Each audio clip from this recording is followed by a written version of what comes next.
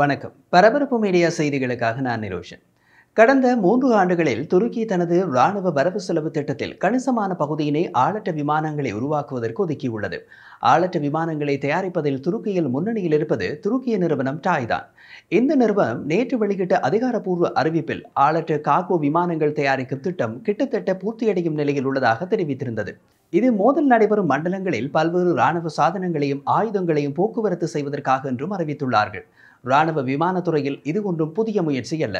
இந்த தொழில்நுட்பத்தின் முன்னோடி இஸ்ரேலிய ராணுவம் கிட்டத்தட்ட இரண்டு ஆண்டுகளுக்கு முன்பு ஒரு ஆளற்ற காக்கோ விமானத்தை உலகுக்கு அறிமுகப்படுத்தியது இஸ்ரேலிய ராணுவம்.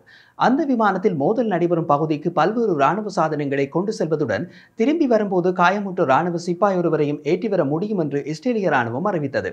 முதலாவது விமானம் தயாரிக்கப்பட்ட பின் அந்த விமானம் பற்றிய மேலதிக தகவல் ஏதும் அவர்களிடமிருந்து வெளியாகவில்லை. கடந்த இரண்டு ஆண்டுகளில் துருக்கி ராணுவம் வெவ்வேறு இடங்களில் ஈடுபட்டுள்ள மோதல்களின் பின்னணியை பாருங்கள். லிபியா சிரியா நாகோர்னோ கராபாக் கிழக்கு மத்திய தரைக்கடல் என்று து- துருக்கி ராணுவம் பல இடங்களில் ராணுவ நடவடிக்கைகளில் ஈடுபடுகிறது. இதனால் அவர்கள் ஆளற்ற காகோ விமான தயாரிப்பில் அதிகம் ஆர்வம் காட்டுவது எதிர்பார்க்கக்கூடிய விஷயம்தான்.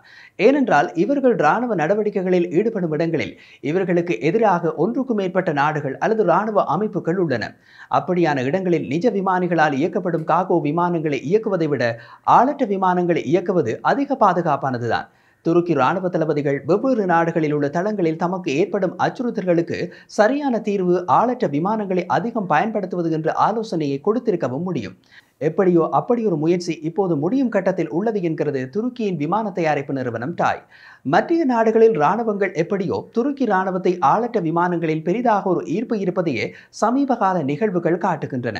சமீபத்தில் நடக்கும் நாகோர்னோ கராபாக் மோதலில் அதிக எண்ணிக்கையில் பயன்படுத்தப்பட்ட விமானங்கள் ஆளற்ற விமானங்கள் தான் அவை அனைத்துமே துருக்கி தயாரிப்புகள்.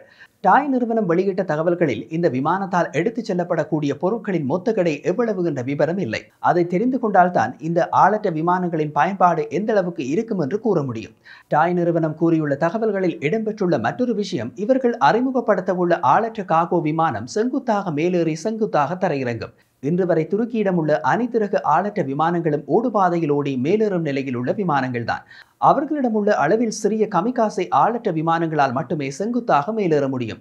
ஆனால் நாம் குறிப்பிட்டது போல் அவை அளவில் சிறியவை. காக்கோ விமானங்களாக பயன்படுத்த முடியாதவை.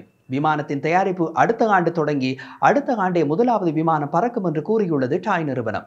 விமானம் வெற்றிகரமாக செயற்பட்டால் இன்று ராணுவ பாவனையில் மோதல் நடக்கும் களமுனைகளில் பயன்படுத்தப்படும் ஆளற்ற காகோ விமானம் இதுவாகத்தான் இருக்கும். அதன் பின் மத்திய நாடுகளும் கடகடவென்று தயாரிக்க தொடங்கி விடுவார்கள்